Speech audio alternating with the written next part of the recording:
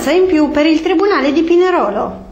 È stato fatto un passo avanti per evitare la soppressione del Tribunale di Pinerolo. Il Consiglio giudiziario del Piemonte Valle d'Aosta ha espresso parere negativo sulla soppressione del Tribunale della Procura di Pinerolo.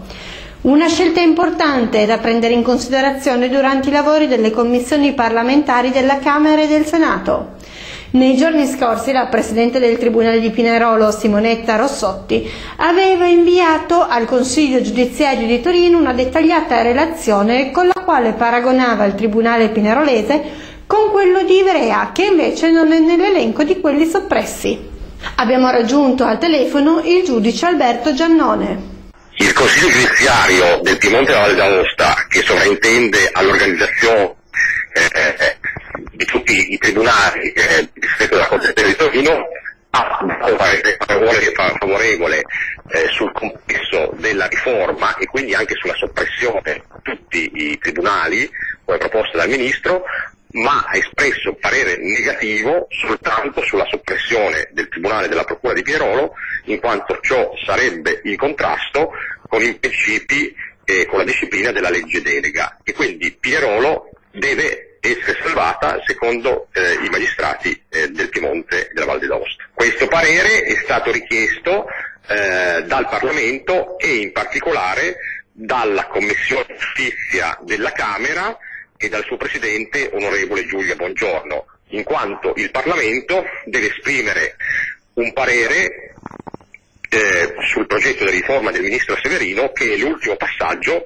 prima dell'emanazione del decreto legislativo da parte del governo. Al lavoro per evitare il rave party. Questa mattina in comune a Pinerolo si è svolto un incontro con tutte le forze dell'ordine e la Procura della Repubblica per mettere a punto le strategie per evitare che a Ferragosto, come già era successo nel 2007, il comprensorio militare di Baudenasca venga preso d'assalto dal popolo dei rave party.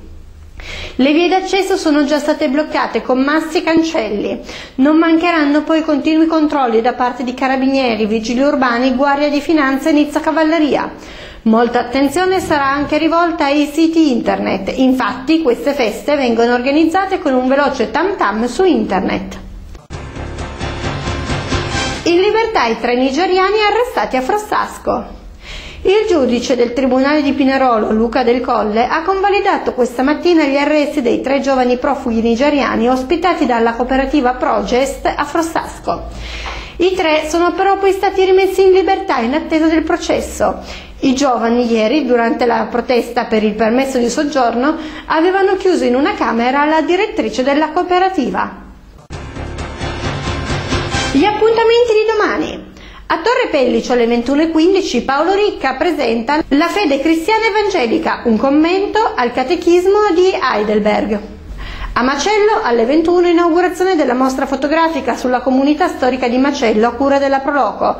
A seguire Giocando nel Verde, concorso di idee per il Parco Giochi. A Rorà, nel Parco Montano alla 21, musica con 3 DJ da Udine, dal Belgio e dalla Francia. Ingresso 5 euro, campeggio libero. Thank